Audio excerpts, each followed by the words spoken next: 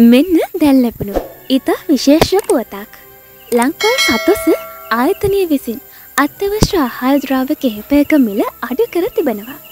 ඒ අනුව රුපියල් දෙසිය හැතක්ක පැවති කීඩි සම්බා කිලෝවක් රුපියල් දෙසිය හතරිස් අටක් දක්වා අඩු කර තිබෙන අතර. සුදු සීනි කිලෝවක මිල රුපියල් නමයකින් පහත දමා තිබෙන අතර එහි නවමිල වන්නේ රුපියල් දෙසිය හතලිස් නවයක්.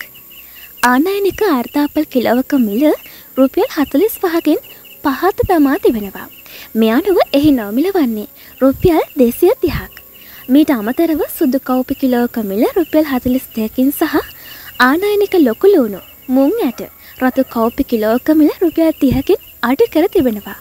තවද රතු පරිප්පු කිලෝක මිල රුපියල් දහයකින් අඩි කර තිබෙන අතර මීට අමතරව වියලිමිරිස් හාල් මැස්සත් දේශය සුදුකකුළු සහල් සහ කඩලයන් රවිවල මිලද ආටි කර තිබෙනවා. මෙවැනි තොරතුරු ඇසනින් නිවරතිව දැන්ම දැනගන්න. අපගේ නාලිකාව සබස්ක්‍රයිබ් කර තබාගන්න.